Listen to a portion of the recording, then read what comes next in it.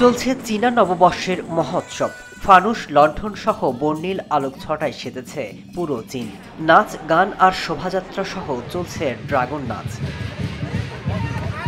দুই হাজার বছর আগে থেকে হান উপজাতি লণ্ঠন জ্বালিয়ে এই উৎসবের প্রচলন শুরু করে। চন্দ্র নববর্ষের প্রথম দিনটিকে চীনারা নববর্ষ হিসেবে পালন করে থাকে আর এরপর থেকে চল্লিশ দিন ধরে চলে এর আনুষ্ঠানিকতা।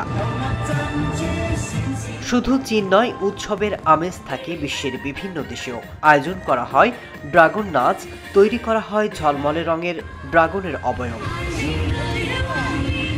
মালয়েশিয়া ছাড়াও Singapore, Laos, Cambodia, New York সহ বেশ কয়েকটি দেশ মেতেছে এই নববর্ষের মহোৎসবে।